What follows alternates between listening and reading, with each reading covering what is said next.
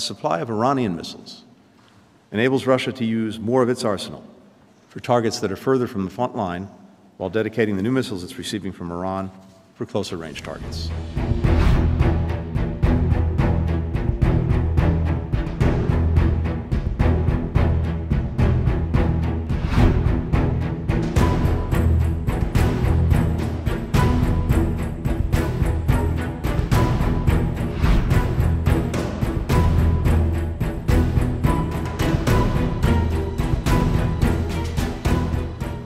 Now, one of the reasons that Putin is able to continue this aggression is because of the provision of support from the People's Republic of China, the biggest supplier of machine tools, the biggest supplier of microelectronics, all of which are helping Russia sustain its defense industrial base.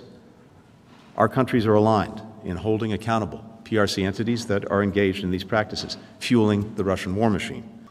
Now, to wage his war of aggression on Ukraine, Putin is also relying increasingly on help from Iran and the DPRK. In these instances, uh, to get actual weapons in clear violation of multiple UN Security Council resolutions. Now, Tehran has long supplied deadly drones. It's built a drone factory in Russia. It's trained Russian personnel on how to operate them. For some time, the United States has warned of an additional threat the provision by Iran of ballistic missiles to Russia for use in Ukraine. We've warned Tehran publicly, we've warned Tehran privately that taking this step would constitute a dramatic escalation. Dozens of Russian military personnel have been trained in Iran to use the Fath 360 close range ballistic missile system, which has a maximum range of 75 miles. Russia has now received shipments of these ballistic missiles and will likely use them within weeks in Ukraine against Ukrainians.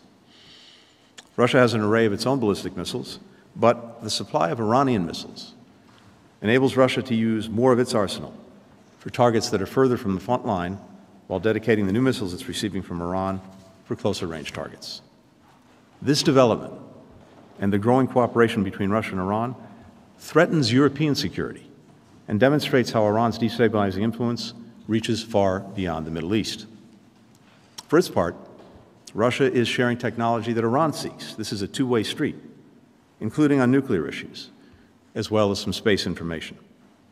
So, as Iran's destabilizing activities spread, so does Russia, sowing even greater insecurity in their regions and around the world.